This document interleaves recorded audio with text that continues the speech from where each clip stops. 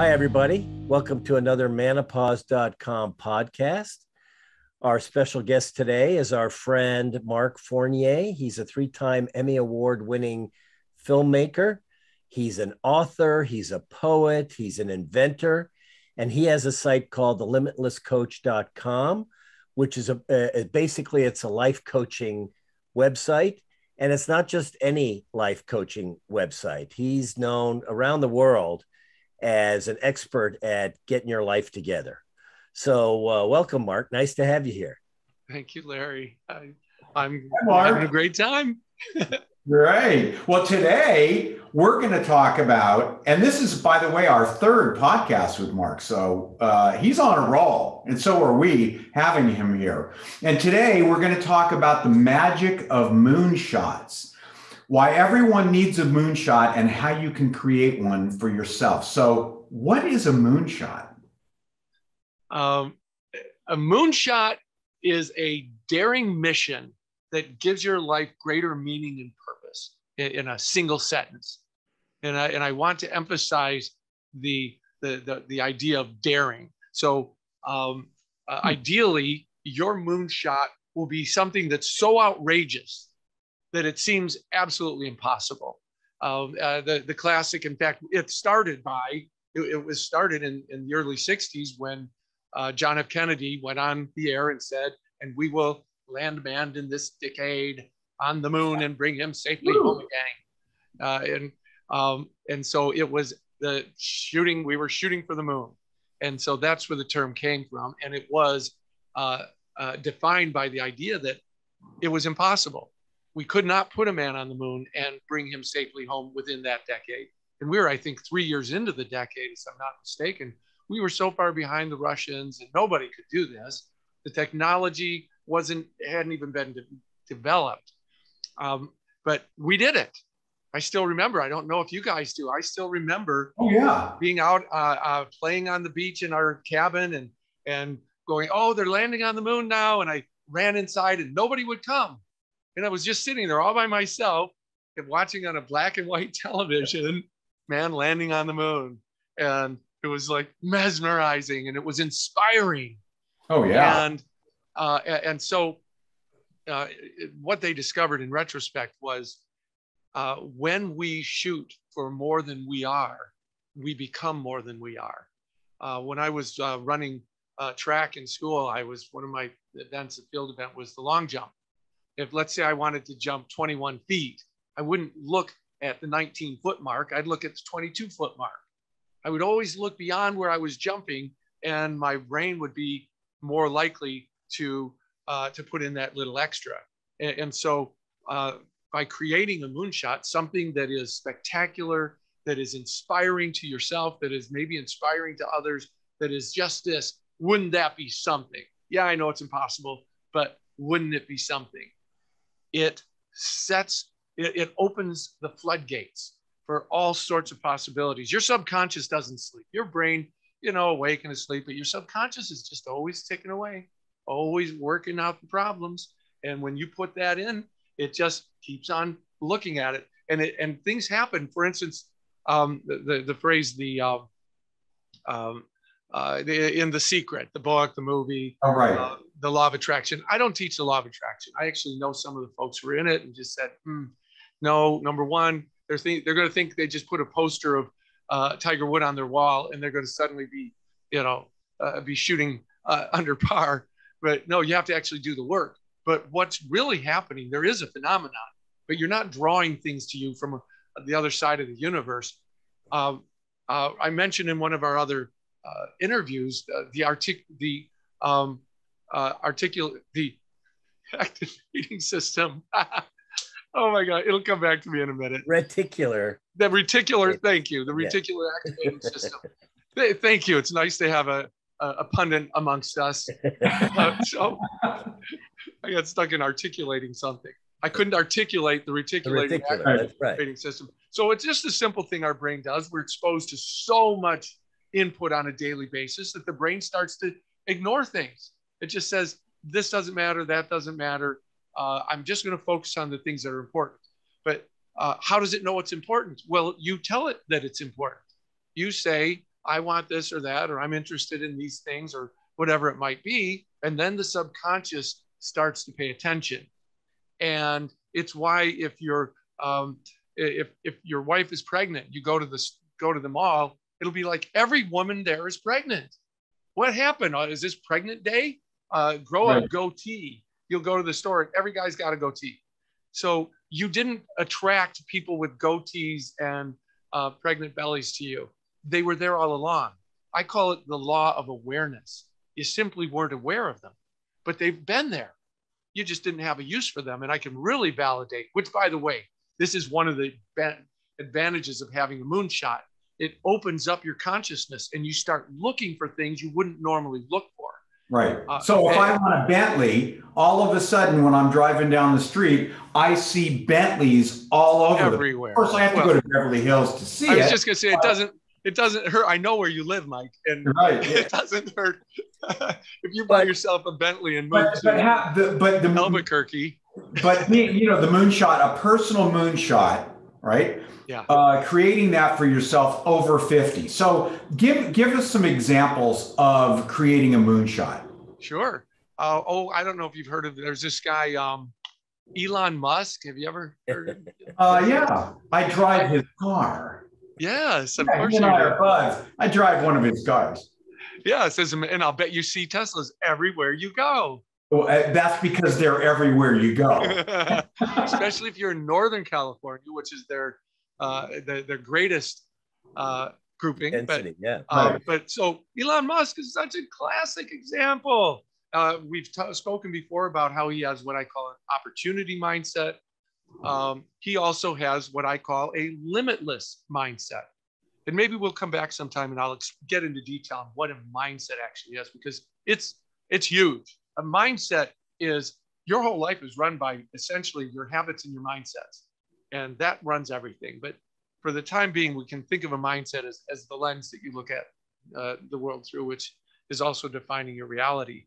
And so a limitless mindset is being of the, the actual belief that anything is possible, period. I mean, not like a cliche, but like anything is possible. Anything the mind can conceive and believe, uh, the, the, mind, the mind can or man can achieve. So um, if you've got that, it opens the doors to everything, to all of your dreams. So 50 plus, instead of saying, uh, you know, my my world is over, uh, you it's kind of like, well, what would Elon do? In fact, I do that in problem solving sessions. I go, well, what would Elon do? Uh, he definitely is an iconoclast. This man thinks out of the box. In fact, he does it uh, with with passion. He it defines him. He asks uh, questions everything. Well, why do you name people this? Well, why do you use that for this? Uh, why why can't you you know reuse a, a rocket and have it come back? So uh, in his case, his childhood fantasy of of creating a or landing a man on the moon um, grew into a moonshot. I, I, mean, a man on Mars grew into a moonshot. By the way, could, uh, yes. The weird thing is that um, Wernher von Braun, you know, the the Nazi scientist who was yeah. the states and got our our space program going. Yeah. He actually wrote a book talking about going to Mars and how Mars would be colonized. And he, he wrote in the book that the character that would lead this uh, voyage to Mars, his name is Elon. No. This way. was back in the 50s and 60s. Was yeah. this is it following the was this the next chapter in the after the book of Revelations? Uh, yeah, I mean it's yeah, it, it, it's amazing and and and weird and kind of scary, but uh, I but, never yeah, knew that. Yeah, that's just kind of a, a weird aside. But you know, a specific example of a moonshot is uh, is right here at manopause.com because Mike and I years ago decided that we wanted to make a television show. And so we didn't know anything about it. Uh, we didn't know where we were going to get the money. We had the story. Perfect. And so we went out and found the people we needed to get it done. And we did it. We filmed a 30 minute presentation pilot. I loved it. Show that we wanted to make. Yeah. Our wives at first were totally skeptical. And then while we're filming, they're like totally into it as if it was their idea. Um, Wearing headsets, listening to the director and saying Right. cut and and and then subsequent to that, we started uh, the website because we thought, you know, there's not enough out there for men over 50. There's lots of websites for women who are going through menopause and all this kind of stuff, but there's really nothing. So again, knew nothing about it, didn't know what it was going to look like, but we found the right people, brought them into our lives, and helped us launch manopause.com. So not that we're anything special, but we just had the, this passion to do something like that. And rather than saying, God, I wish, we just went ahead and did it for Yeah. better or for worse yeah. you know, like for making the TV show, our mantra was worst case scenario, when we're 90 years old, we can watch it on TV and say, Hey, I made that. Grandpa Right. did that. That was the worst case Right. scenario. So those are that that's a personal example of Yes. what, what you're talking about. And how did it make you feel? How Amazing. It's Yeah. when you were dreaming it up and scheming and you were starting to For see the years. pieces.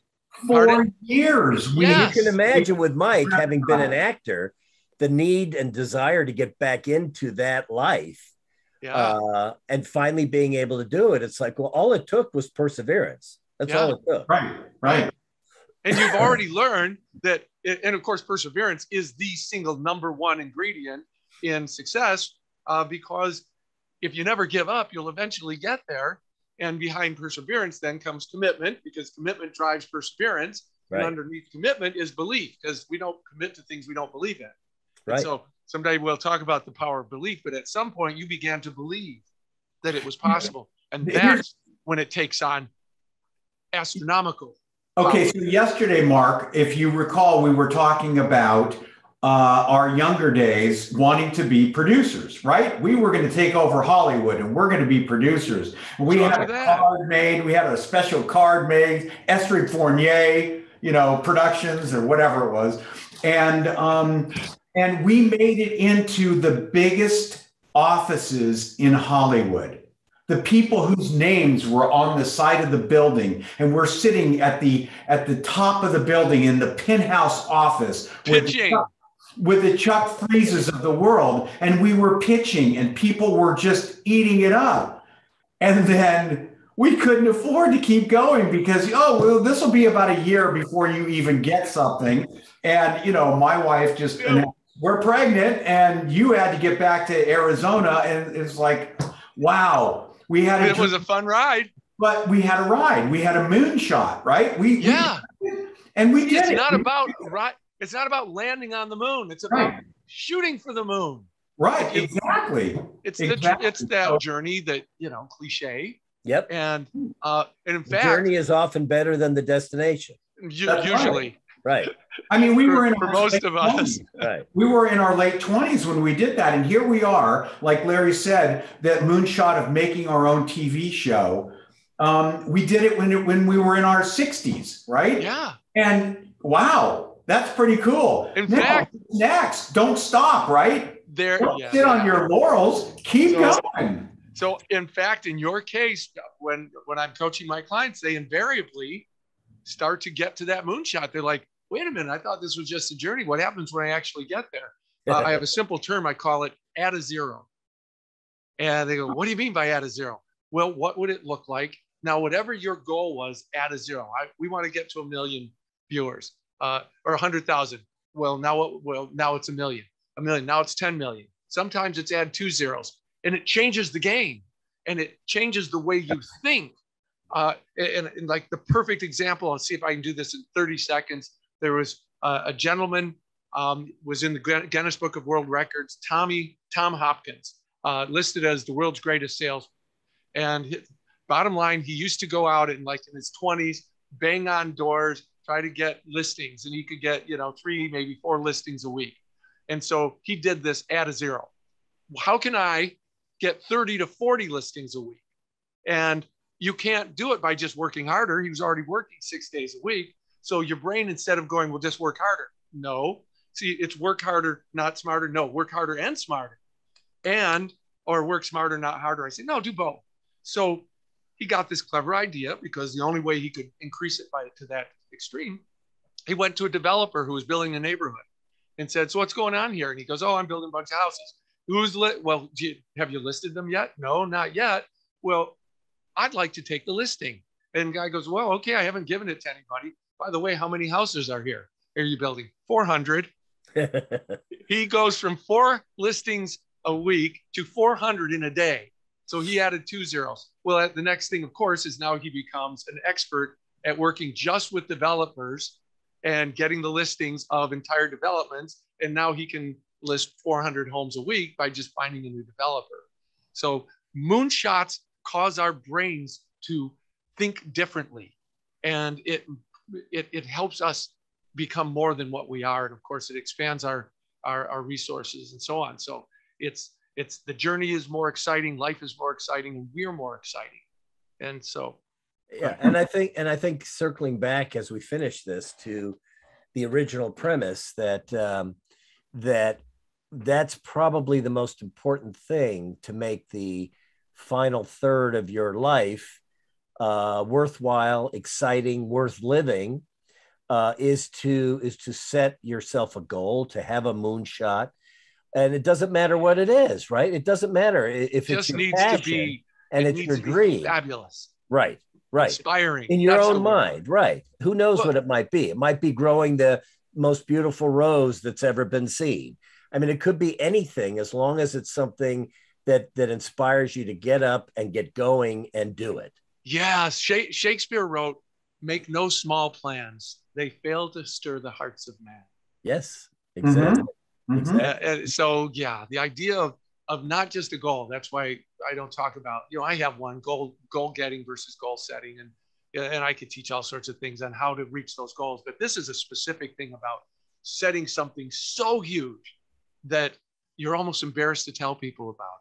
But you must, because that's what brings it into reality. You need to say, this is my mission. This is what I'm shooting for. And people at first might go, whoa, yeah, okay, good luck with that. And then you reverse engineer it Yep. If I wanted to get there, what would I need to do? So when Elon Musk says, all right, I want to create, turn mankind into an interplanetary species. Well, what would I need to do? Well, first of all, we have to get to Mars before we get to other planets.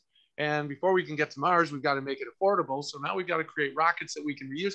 And he reverse engineered his way all the way back to the origins of SpaceX by starting with mm-hmm. an impossible task. Nobody was shooting for Mars. Space, uh, uh, uh, goals had been pretty well dried up, much less going to, to our, the moon or anything else. So it started with a crazy, beautiful idea. And that's something that I think we all deserve.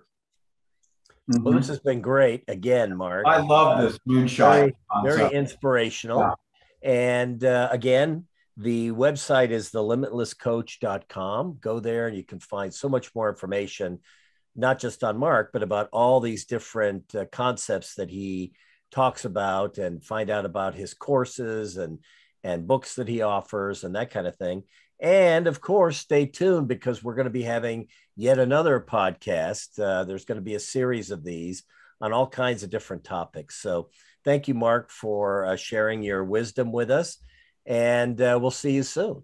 Oh my gosh. Thank you. I love all this. You guys are so much fun. I'm so happy that this was your moonshot, and thanks for uh, leaving an extra seat on your uh, on the ride for me to hop in. Great. So, Great. create right. a fabulous day, guys. Can't All wait right. for the next one. All right. Thanks a lot, Mark. Thank you.